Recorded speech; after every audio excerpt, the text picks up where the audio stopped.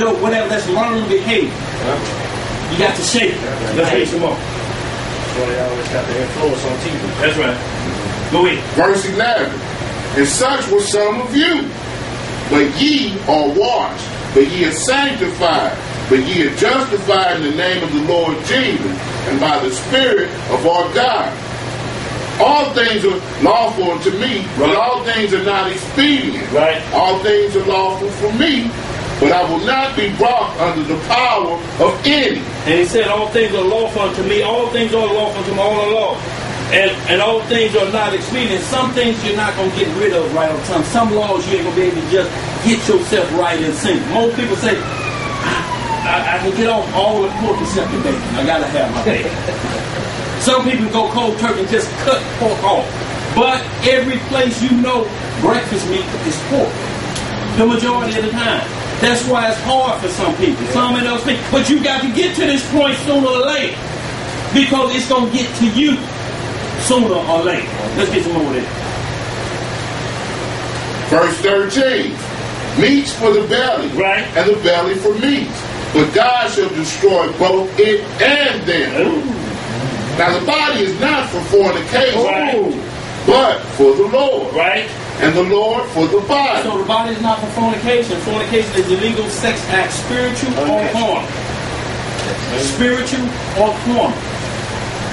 Fornication can't live in there. You can't say I got the Lord in me and you look at that and you be rubbing on this like it's God. It's a menorah, but this ain't God.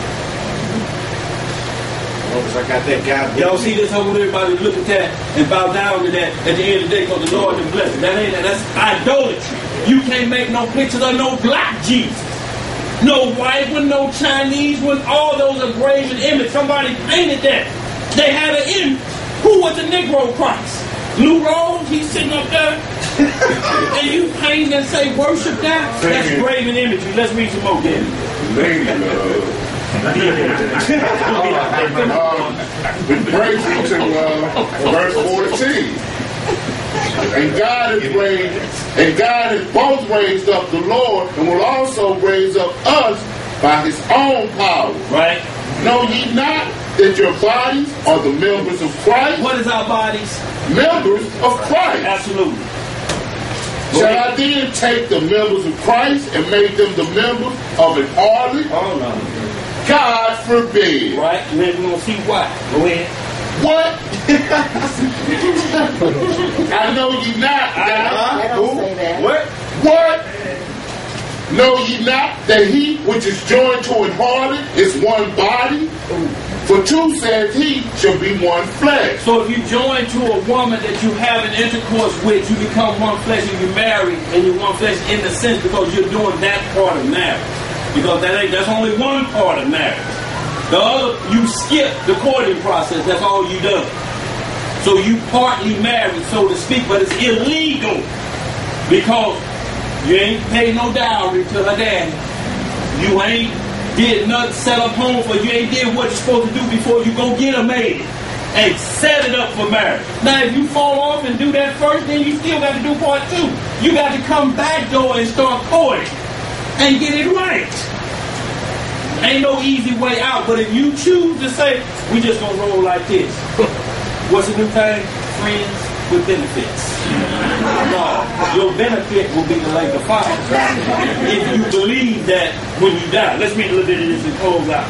Verse 17. Yep, But he that is joined unto the Lord is one spirit. absolutely. Flee fornication. Mm. Every sin that a man doeth is without the body. But he that committed fornica- fornication sinned against his own body. Right? What? Know ye not that your body is the temple of the Holy Ghost, Right. which is in you, mm. which ye have of God, and ye are not your own. Right. For ye are bought with the price. Therefore, glorify God in your body and in your spirit, which are God. So we wanted to hit a little bit of this Ecclesiastes, but y'all read on your own time in, in the uh, Apocrypha, in Ecclesiastes or Sirach chapter 38, just talk about honor physicians, because God put doctors in place for you to, uh, uh, Sirach chapter 38. Most High put doctors here for us. They ask you, second with it, if you don't believe what I'm saying, I went to school for this. But it may get to a point that what a doctor will tell you is out of our hands of natural understanding of the Bible. It's going to take a miracle for you to come up out of it. So we have to go to a physician early on. But a physician will always do this when you go to him. First thing for our people, give up the pork and the salt. And here's your diet. Or here's this bag of medicine. One of the two you got to do to live. This going to be worse than the diet. Because this going to have side effects. It's going to stop your heart from doing this, but it's going to make your arm do this.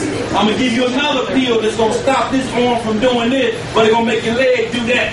And then I'm going to give you a pill for that to stop your leg, but this one going to give you an oily discharge, and your drawers will always be soiled. I ain't got no pill for that. so, y'all, we got to be careful. What you got, sis? June 12th at my house. June 12th, Pentecost. 50 days after Passover. Uh, Passover was Tuesday, April uh, April 19th, right? March, what was it? March 19th? March 19th. 50 days after Passover. And which is all, Pentecost always lands on a Sunday. It's the day of Pentecost, and that falls on, on the next coming Sunday, June 12th. We always do the Sister Deborah house. Y'all get with me if y'all don't know where it's at. What's, what's that address? What time? 8. 420 G-E-R-A-L-D. That's right in Florence and off of Elizabeth. Whichever way you call me, you call me. My number is, y'all know my number, don't you? What is? yeah. what's the D? 920 and, and sis 3956. Daniels, so. What's your number, sis? 285. 285. 1744. And this is a, a light feature of what we call 44. 44. Oh, okay. That's how we wind up on South Okay, Corinthians. Right. But y'all call and get instructions, y'all. We'll meet up about what time, sis. We, it, it's no real time. We hit about 2 p.m. or so. Y'all, we, we got to do it. We got to eliminate the Negro time. We said 2 p.m. so everybody be there about 6.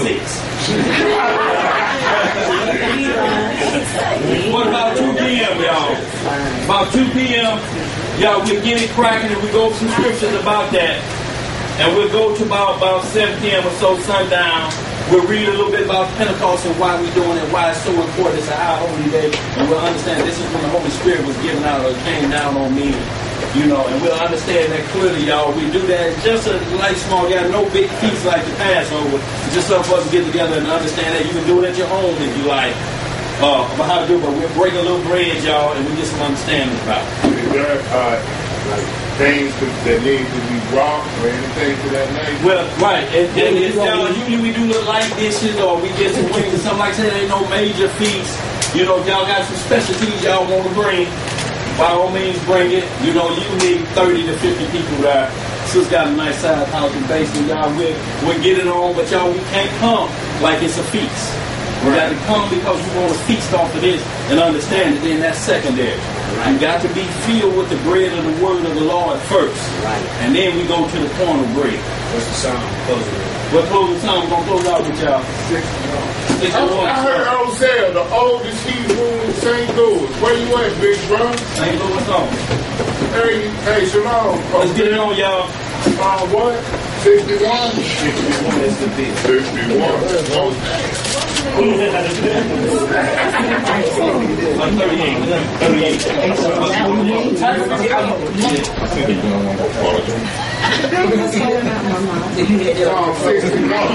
Let's get it, y'all. Warm up in here. And, um, For the sake of the heat. must be on one accord.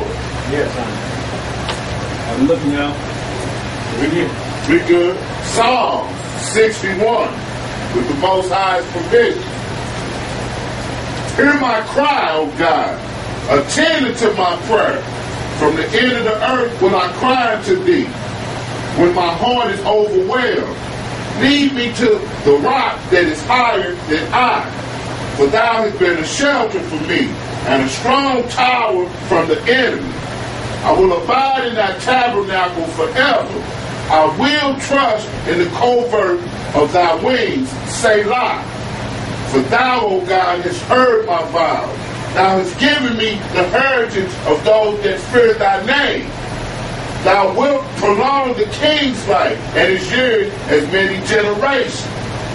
He shall abide before God forever. O prepare mercy and truth, which may preserve him. So will I sing praise unto thy name forever, that I may daily perform my vows. Hallelujah. Hallelujah! This session, y'all, y'all got a shekel or two, y'all. We greatly appreciate it. This session, y'all, if y'all feel